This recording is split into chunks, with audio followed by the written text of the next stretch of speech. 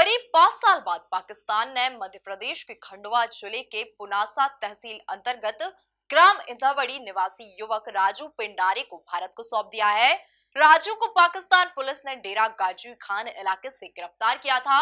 वहीं राजू अब वापस भारत लौट आया है। पाकिस्तान द्वारा युवक को राजस्थान के रास्ते भारत को सौंपा गया है। देखिए, इसी पर हमारी खास रिपोर्ट। पाँच साल बाद राजू वापस भारत लौट आया है। तो उसकी माँ बसंता बाई उससे मिलने के लिए बेताब नज़र आ रही हैं। बसंता बाई का कहना है कि पाँच साल से राजू की तलाश में पूरा घर परेशान था। वहीं अब भारत सरकार के कारण उनका बेटा उन्हें मिल गया है। सब वो तो राजू बहुत दिन भटकाया। राजू ने पाँच साल से भटक रहे थे, पर अब राजू मिल गया है तो हमको बहुत खुशी हो रही है। बहुत अच्छा लग रहा है कि अब लेने जा रहे हैं।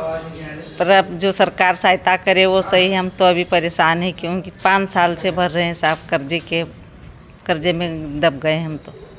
अब जो सरकार इतना करा है तो इतना भी करके हमारे घर तक पहुँचा दे। बहुत बहुत धन्यवाद हम देते हैं। जहाँ भी किसी ने बोला, वहाँ पर हमने फाइलें दी हैं।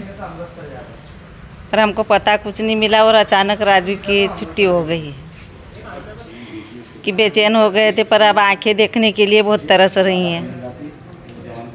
किस तरह स्वागत करें साहब वो तो देख के खुशी के मारे कैसे क्या स्वागत करें उसको तो ऐसा लगता है कि झूम जाएँ उसके ऊपर।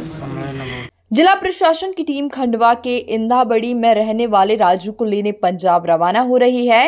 एएसआई और दो कांस्टेबल के साथ स्वास्थ्य कर्मियों की टीम बनाई गई है जिसकी जानकारी अपर कलेक्टर शंकर लाल सिंघाड़े ने दी। पाकिस्तान जो इंदावड़ी का राजू पिता लक्ष्मण चला गया था उसको पाकिस्तान के द्वारा जो है रिलीज़ कर दिया गया है चौदह दो को। और वहाँ से हमको इंडियन रेड क्रॉस सोसाइटी ज़िला अमृतसर से ये इन्फॉर्मेशन मिली है कि उनको प्राप्त करना है। इसलिए जो है हमने चार सदस्यीय एक दल बनाया है, जिसमें एक मेडिकल का कर्मचारी भी है, एक शासकीय कर्मचारी और दो पुलिस के जवान हैं, जो वारंट के साथ उनको जो है प्राप्त करने के लिए रवाना हो रहे हैं। आपको बता दें, राजू का पूरा परिवार इंदा बड़ी में ही रहता है। उसके परिवार में माता पिता और एक विकलांग भाई शामिल है, जिनके घर में एक बार फिर खुशियाँ बरसने वाली हैं, क्योंकि उनका खोया हुआ बेटा अब उनके बीच होगा। Bureau report, MP news, Khandwa.